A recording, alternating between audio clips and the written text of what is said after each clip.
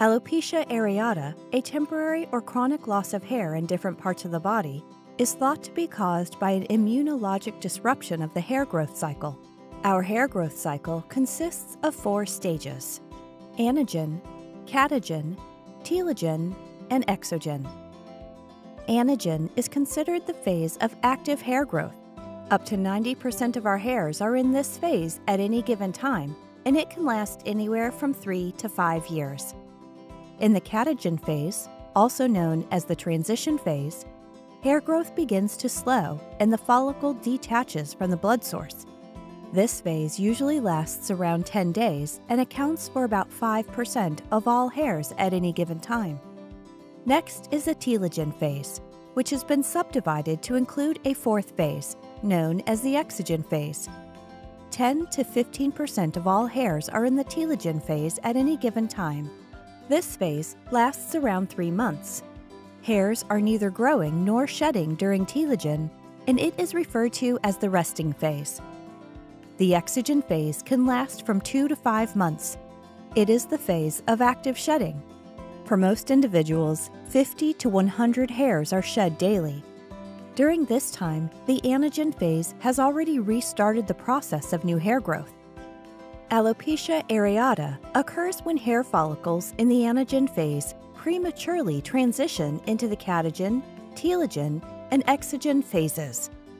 The result is a temporary or chronic state of increased hair shedding and a suppression of hair regrowth.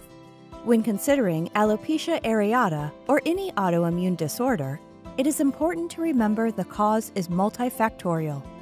We can equate this to the idea of a sports team Victories are not the result of one player, but rather a contribution by multiple players.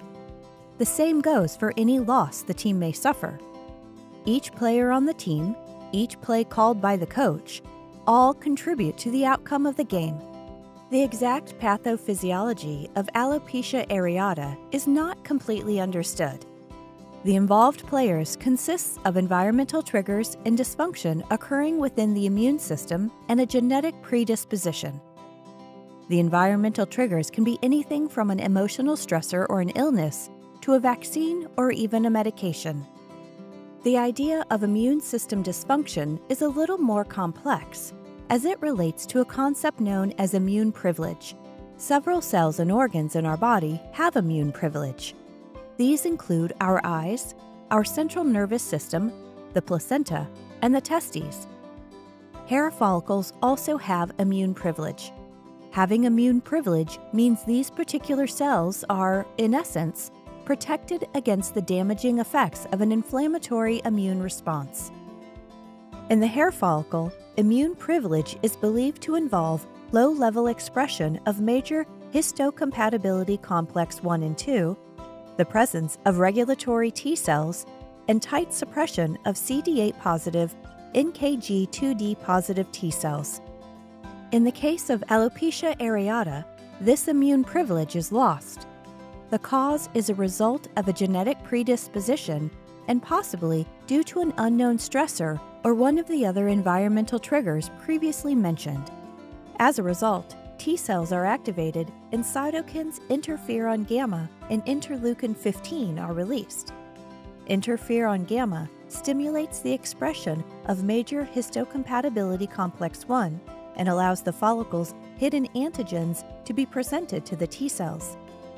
Interleukin 15 suppresses the regulatory T cells and promotes proliferation of CD8 positive NKG2D positive T cells. The result is damage to the anagen hair follicle, leading to an acceleration of the follicle into the catagen phase.